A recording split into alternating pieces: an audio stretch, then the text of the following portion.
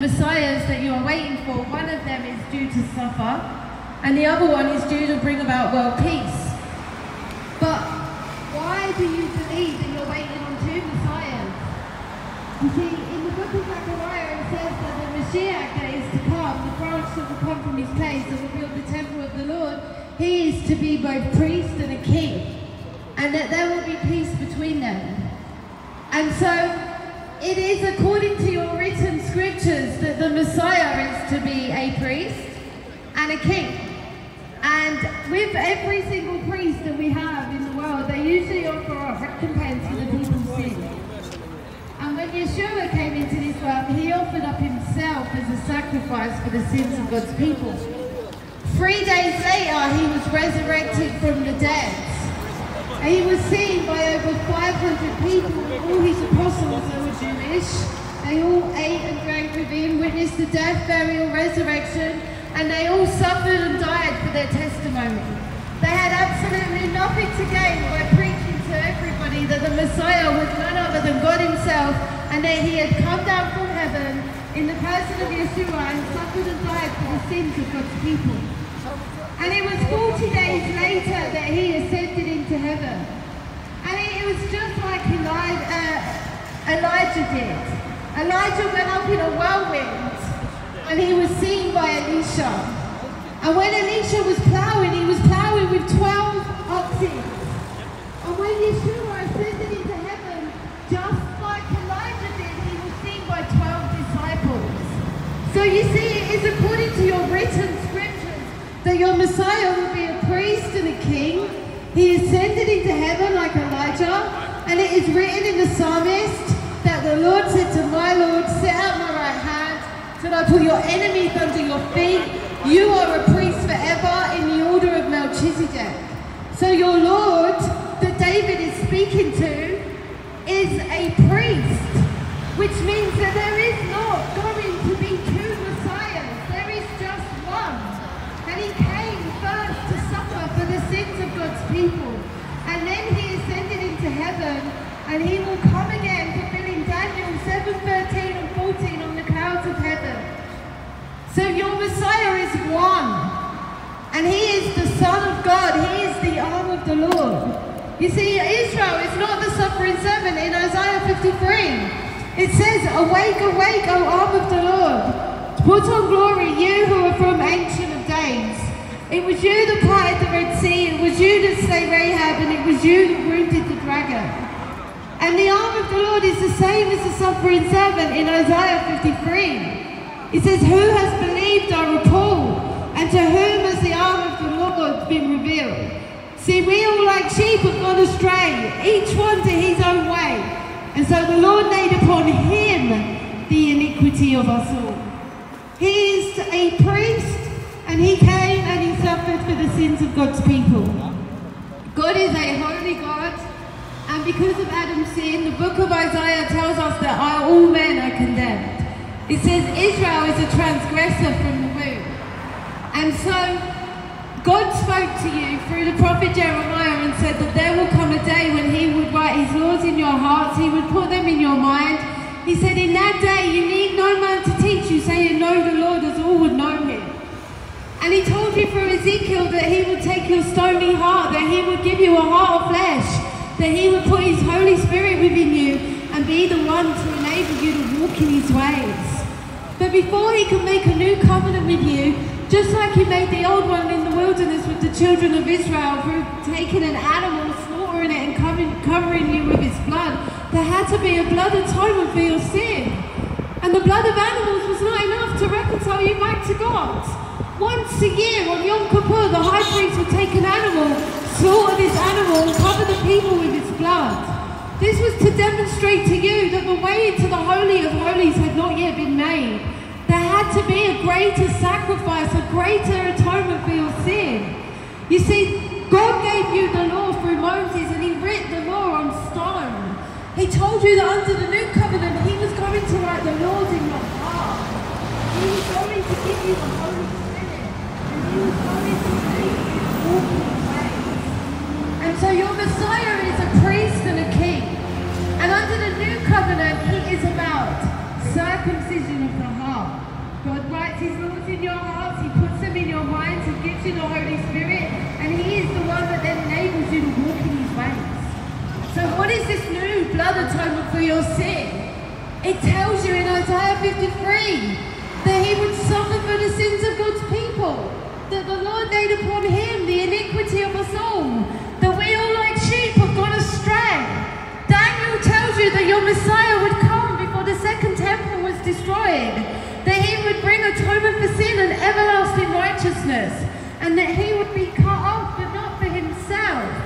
And your Messiah came down from heaven 2,000 years ago, suffered for the sins of God's people, was risen from the dead three days later, ascended into heaven on the 40th day, just like Elijah did, and he will come again on the clouds of heaven, and he will stand on the Mount of Olives, and he will go out to fight against Israel's enemies.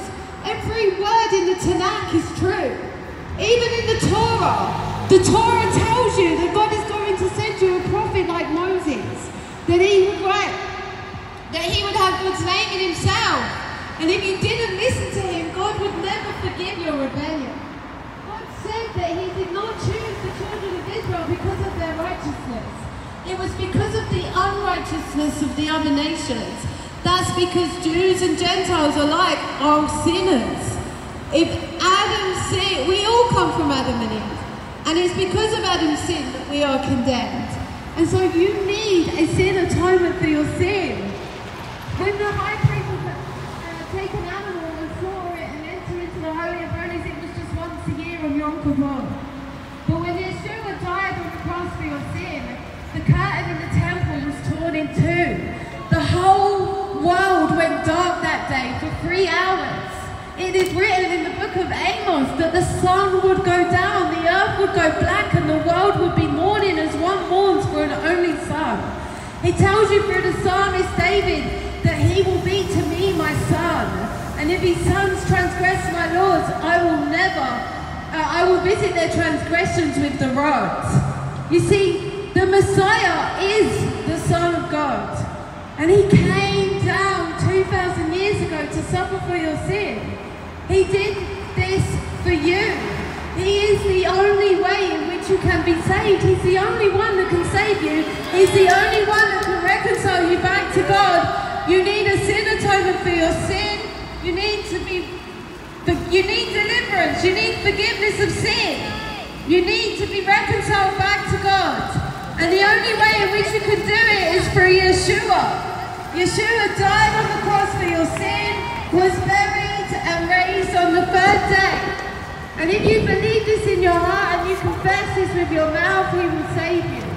There is just one way to be saved. Whether you be Jew or Gentile, God is one.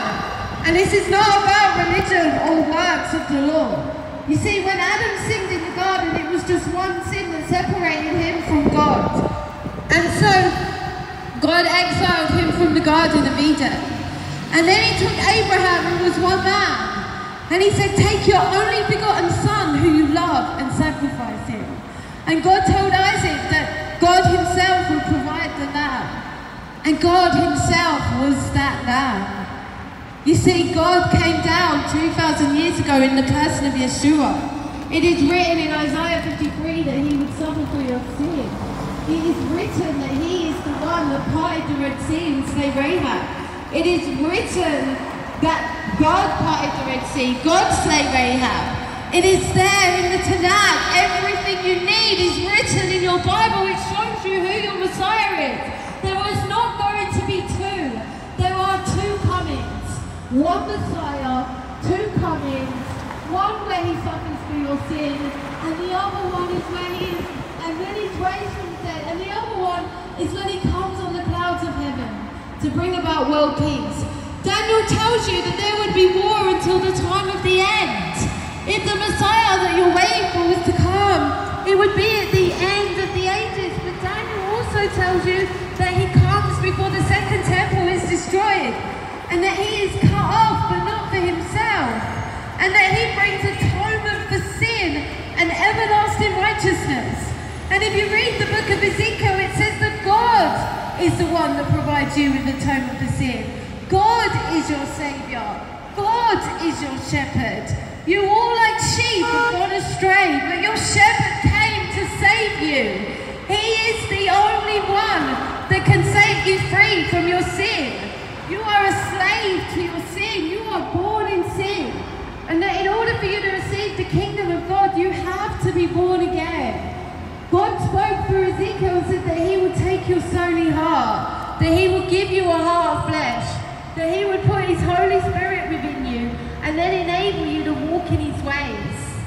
Yeshua HaMashiach is your Messiah and he is alive. He is seated right now at the right hand of the Father. And if you choose to go astray, God warned you through Moses that he will never forgive your rebellion. Yeshua said, I am the way, the truth, and the life, and no man comes to the Father but by me. You cannot be saved through your works, through keeping the law, because you sin against God over and over again. And if it was one sin in the Garden of Eden that separated Adam from God, then how many times a day do you sin? And if God is holy, then how can he let you into heaven in your sinful state? And if he is righteous, then tell us, how can he judge us based on who told a big lie versus who, who told a little one, when every person in the world is a sinner? There is none righteous, not one. Jews and Gentiles alike, we all sinned and fallen short of the glory of God. And if he's a just God, then he must sentence us to the same fate. We are condemned, every human being. But Yeshua, He is our hope. He is our light in the dark. He came to set the captives free. He came to deliver us from our sin. He said that who the Son sets free is free indeed. He came to take us from the evil one out of the darkness and into the light. When you put your trust in Yeshua, He saves you. He changes you. He gives you a new heart. He puts His Holy Spirit within you and He reconciles you back to God. It is written that the Jews would reject their Messiah and so God would turn His attention to the Gentiles, that He would reveal Himself to a nation that didn't ask for Him. But this is only for a season. It is also written that God is not finished with His people yet. You see, the Gentiles, the Jews were chosen first. And God preserved you through the ages so that He could bring about your Redeemer. It was through, he told you through the prophets that exactly what he was planning to do. Joseph, Moses, and David were a shadow of the Messiah.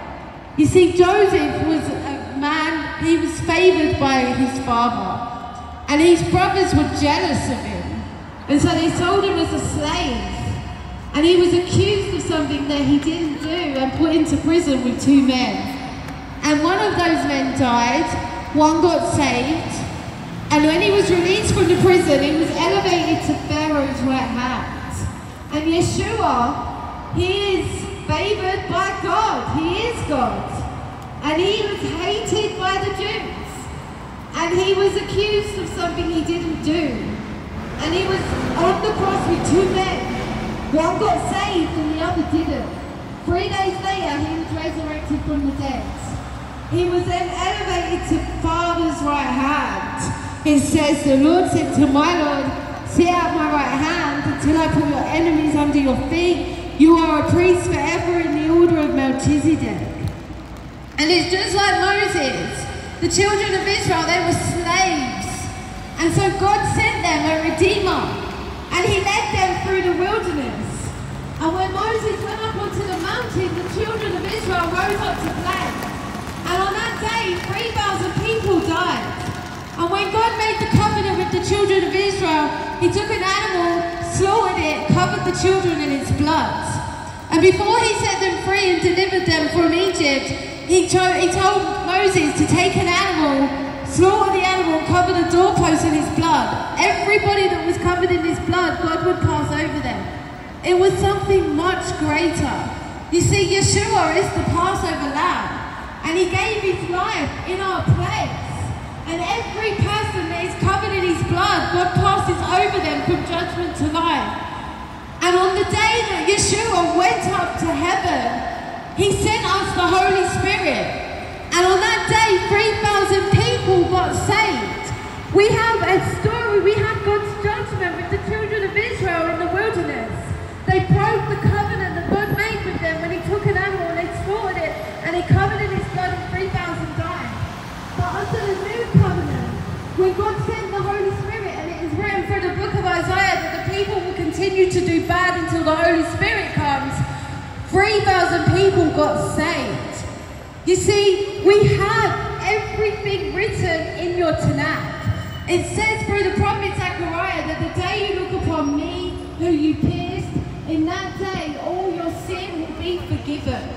You cannot be saved through any other way except by God's grace. And it is through faith in the one that you pierced. It is by believing in Yeshua. If you believe that he is Lord, that he died on the cross for your sin, was buried and raised on the third day, he saves you. He changes you.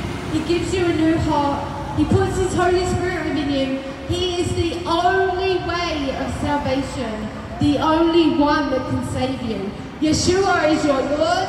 He is your God. He is your Messiah. He came once to suffer for the sins of God's people, and he is going to come again on the clouds of heaven. And unless you believe in him, you will not be saved. You are condemned already for your sin, and the only way you can be saved is by being born again. When you believe in Yeshua, He takes your stony heart, He gives you a heart of flesh, He puts His Holy Spirit within you, He then enables you to walk in His ways. God bless you.